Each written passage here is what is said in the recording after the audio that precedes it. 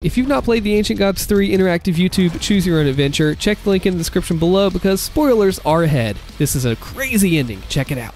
Slayer, sir, we unfortunately did lose the intern in the blast. Thankfully, at least you did survive. Now, let's get to shore. There's a disturbance in the ocean. The Amoran Kraken, sir, he's rising! Incoming!